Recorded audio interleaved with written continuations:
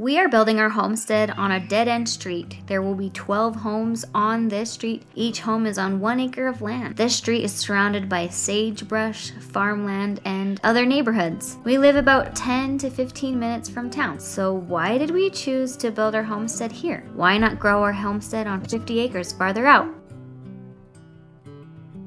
We have the goal to grow a lot of our own food, but we also have the goal to grow the community around us. I really want to be more self-sufficient. I want to grow the food that our family needs, but I also want to be the person that my neighbor can rely on. In fact, I want us to be able to rely on each other. And we definitely took that into consideration when picking out where we wanted to build our homestead. And we knew that we could accomplish all that we wanted on a single acre. We have space between us, which I value greatly, but we can also be there for each other. And I'm not just talking about our street, I'm talking about the neighborhoods all around us.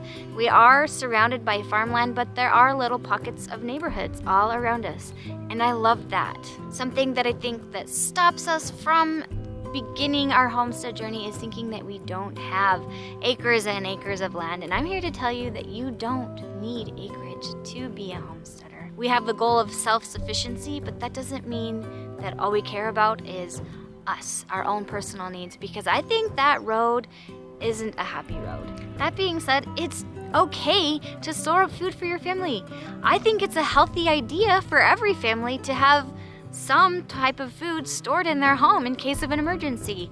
And that's a goal we have for our family. But, but if a neighbor's in need, I want to be the one who can reach out a lending hand and help. One thing that we are doing to promote community is that we are building a fire pit on the east side of our house and from that area, you can actually see people walking by on the path behind me and also on the street. I want to be able to invite people we're starting to know to come join us for a treat around the fire pit. I want to let my neighbor's children run through the berry patch and eat berries till their heart's content. That's what I want. I feel that our world is becoming very self-centered. I know there's a lot of homesteaders out there who have all this fear and food shortages and relying on the government and a lot of things and and maybe it's okay to have those fears but I also have this fear that we are growing humans to become so concerned about themselves and I think that's more dangerous Uh, than anything else because if we can unite as a people then we can get through a food shortage, if that makes sense. Sure, be prepared. Be prepared for if those things do happen, but also create a space in your heart for that ability to share with the people around you. So we have not been able to move into our house yet. We were told that we would be able to this week, and now they're saying they can't get people in to do the final touch-ups of the home, which is a little frustrating to me, but it is what it is. So regardless of us being able to move in, we need to get our onions and our potatoes in the ground this week. So let's get started on that.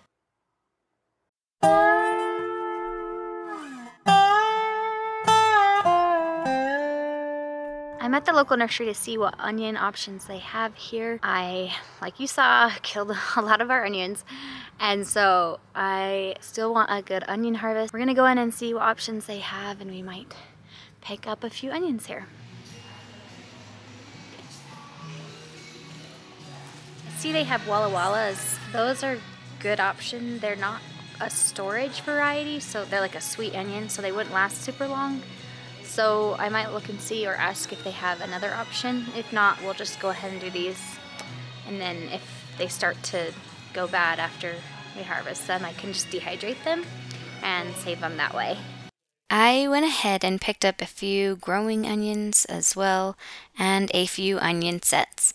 It will be interesting to see how each of these different onion types grow and which ones do the best. I also picked up several more sugar snap peas. My family loves snacking on these and we never seem to have enough. So I may dedicate an entire row to these. This is a dangerous place. I just want to buy everything here. Does anyone else feel that way at garden nurseries? especially in the spring when everything just looks fresh and alive and there's thousands upon thousands of plants.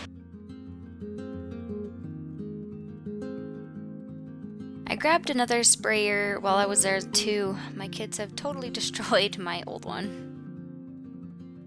We're back home now, and I'm not going to be able to plant these onions right away, so I'm going to preserve their roots by putting them in the soil, keeping the soil moist until we can get to planting them.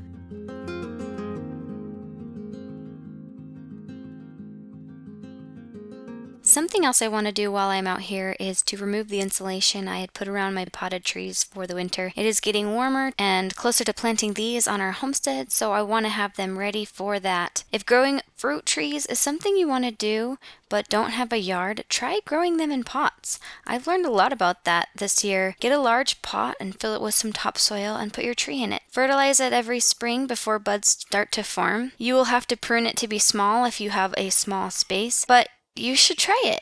You can totally do this with trees or any fruit bush, really. You do need at least six to eight hours of sun, though. But other than that, there really isn't anything that can stop you from growing fruit right now.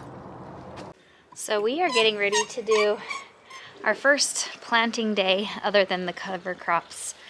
We haven't moved in yet, but I just can't wait any longer to plant a few things, like our onions here. We're gonna get the onions in the ground, and if we have time, the potatoes. So I'm gonna take this hose we have here at our rental, quickly water all of our trees and plants, and then bring this hose over to our house to reach all the way to the back. That way we can come every other day or so to our property and water the onions and potatoes. I'm probably a little ambitious to get the potatoes done as well as the onions. We have the seed potatoes that I cut already, so they are ready to go. I'm just gonna stick them in this box over here and bring the box, and if we have time to plant the potatoes, we will, but I have a feeling that our family will only have the time to prep a garden bed for onions and do the onions, but we'll see. Did you get the hose?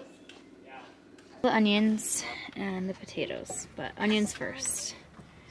We've got our crew ready here. So to get the garden row prepped, I'm gonna take the broad fork down the row and then we're gonna probably layer compost on it and that'll be the row that we put the onions in. So after I'm broad forking, the kids are gonna come through and try to break up some of the clumps as best they can. For the onions, you do want the soil loosened for those bulbs to form. We rigged up the hose and it does reach all the way back here, so that is really good news.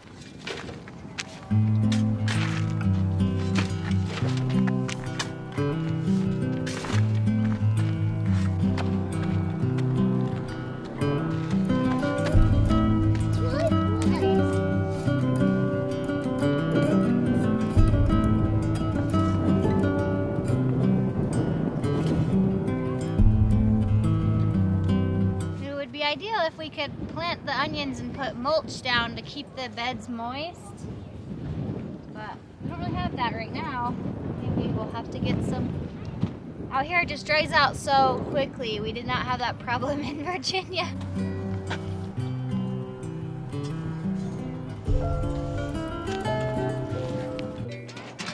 Such a beautiful sight. Let's go get the onions and see how many we can fit inside that row. It would be great if we could fit all of them. But that being said, the more onions, the better. So if we need to do another row, that's fine. We eat so many onions. We're not like a onion a week kind of family. We're like a couple onions a day kind of family. At least one a day. All right, Junie, we're gonna plant these onions. Do you wanna come help me put some in the ground? Yeah. Okay, let's go. So I've only ever grown onions from seed. This year, as you know, I have killed many of my onions from seed. So I picked up just grown onions and then onion bulbs. And I wanna see which one is my favorite. Obviously, the most affordable way to do onions would be starting all of your own onions from seed, which is probably what I'll end up doing. But as if I kill my onions again, we'll see if I like go for the bulbs or for the onion sets the next time. But I'll let you guys know which onions perform best for me. We have several varieties. Um, it should be a fun experiment. I'll try this one first. You like purple? Yeah. Uh oh you want to do the red onions? They're called red onions, but they look purple, huh? Yeah, those. You want to do those ones first? Kay. Yeah. Look at the bones. Whoa. These has got lots of bones. Here, Mom. Open Thanks. these. Want you to open them? Yeah.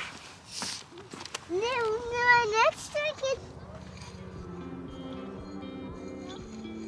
one is sun. They need to be three to four inches down in the dirt. So those ones might not be deep enough. I put one, my put one right here. Oh, that looks good. One is really deep. No, watch out. Watch out, mommy. Should I just finish this off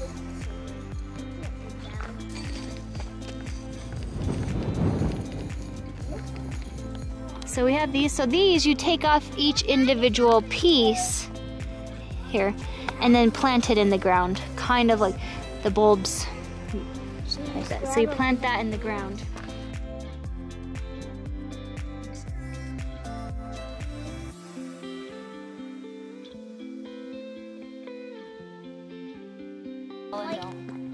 They'll still grow an onion. yucky compost? Could you take this?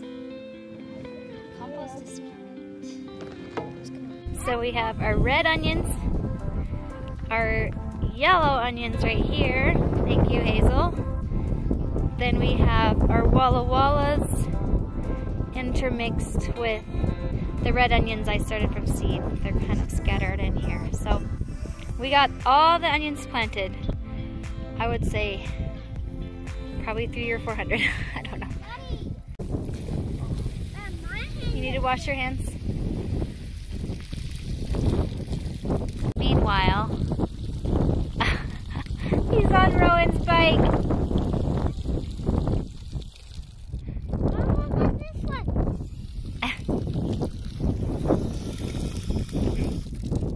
Our kids were doing great, so we decided to keep going, prep the next garden bed, and plant our potatoes. We did two rows of Yukon Gold potatoes all along this 50 foot garden bed. We had too many potatoes to fit in this row, and the girls sort of crammed the last ones at the end here, which might overcrowd the potatoes. But I like to let the kids take ownership of things, and if that means that the garden isn't perfect, that's okay. A perfect garden is not my goal. I challenge you guys to grow something for someone else this year, and I think it'll bring more happiness to you than you will ever know. Hey, darling, can I tell you what's been on my mind? Sick and tired of the nine to five in the city light.